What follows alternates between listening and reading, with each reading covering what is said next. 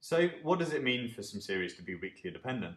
Well, mathematically, it means that the correlation between xt and xt plus h, where h is some sort of integer, must tend to zero as h tends to infinity.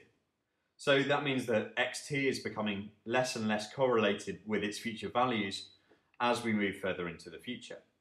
So what are some of the examples of weakly dependent series? Well, one of them is what we call a moving average process. So we have here that xt is equal to some error et plus theta, where theta is just some number, times some error in the last period. And it's quite easy to see here that the correlation between xt and xt minus 1 will not be equal to zero because both of these terms are going to have et minus 1 in them. However, if we look at the correlation between xt and xt minus tau, where tau is greater than 1, we can see that this is going to be equal to 0 for the circumstance where I should probably have stated that this sort of error term here is independent and identically distributed with a value of zero and some sort of finite variance sigma squared. So you can see that there's not going to be a correlation between xt and xt minus tau because xt minus tau doesn't share any common errors with xt. Okay, another example of a weakly dependent process is if we have an AR1 process, which is an autoregressive of order 1 process. Again, don't worry if you don't know what an autoregressive of order 1 process is, or if you don't know what an MA1 process is. We're going to devote quite a lot of time to them in the future videos, but I just wanted to bring them in now as examples of sort of classically weakly dependent series. Okay, so a AR1 process is going to be something that like xt is equal to rho times xt minus 1 plus some error et, where et is satisfying this sort of condition up here. And the idea here is that if rho is less than 1, or if the modulus of rho is less than 1, then it happens to be the case that the process is weakly dependent.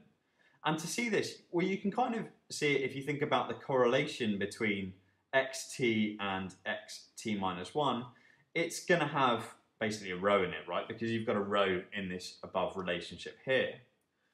How about the relationship between the correlation of xt and xt minus 2? What is that going to look like? Well, to see this, what we need to do is we need to back substitute in for xt minus 1 because xt minus 1 must also satisfy this relationship here. And if we do that, we get that xt is equal to rho squared times xt minus 2 plus rho times et minus 1 plus et. And to get that, I've just substituted in here for xt minus 1. So we know that xt minus 1 must, if I do that in a different colour, xt minus 1 must be equal to rho times xt minus 2 plus et minus 1. So I've just substituted in for xt minus 1 in order to get this relationship up here. So when we do this, it becomes quite clear that the covariance of xt with x, or the correlation rather of xt with xt minus 2, is going to be something involving rho squared. And if the modulus of rho is less than 1, as it is here, we have that the correlation of xt with xt minus 1 is greater in magnitude at least than the correlation of xt with xt minus 2. So again, and you can see that the, this correlation is actually going to decrease as the number of lags between xt and xt minus tau increases. So again, we have that these two conditions are, well, this one particular condition rather is satisfied. So for the case where rho is less than 1, our AR1 process is in fact weakly dependent. Okay, what about a series which isn't weakly dependent? Well, it's actually quite similar to our sort of standard AR1 process, except now we set rho equal to 1. So we have that xt is equal to xt minus 1 plus et. And by extension, you could just write that this was equal to xt minus 2 plus some error t minus 1 plus et. And I hope you can see here that it's going to be the case that the correlation of xt with xt minus 1 is going to be the same as the correlation of xt with xt minus 2. Um, and in fact, this is actually going to hold exactly. So we very much don't have the circumstance where the correlation between xt and lagged values of xt decreases as the lag increases. So this particular series where rho equals 1 isn't what we call weakly dependent. It is actually what we call a random walk and it is the sort of classical example of a series which isn't weakly dependent. Okay, so why have we actually needed this assumption of weak dependence? Well, if you remember back to the sort of cross-sectional Gauss-Markov conditions, we required that we actually had a random sample of x and y.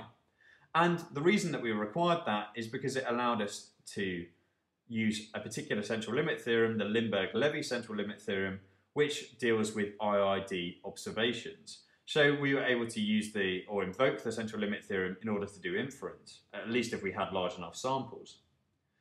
In time series, we've already spoken about the fact that this cannot actually be true, but we'd still like to be able to do inference. Well, the idea is that weak or weakly dependent series is, or the requirement to have weakly dependent series actually replaces this assumption of a random sample. And the reason for it sort of replacing a random sample is because you can sort of think about if xt is not very much related to x t minus 100 or 100 lags different, then we can kind of treat xt with the sort of lagged value of xt in 100 periods time or 100 periods before as being kind of like a random sample. You can kind of think about them as being independent of one another. And because of that, we can actually invoke a, another central limit theorem which allows us to do some sort of inference, at least in the case of time series. So that's why we require that series are weakly dependent of one another.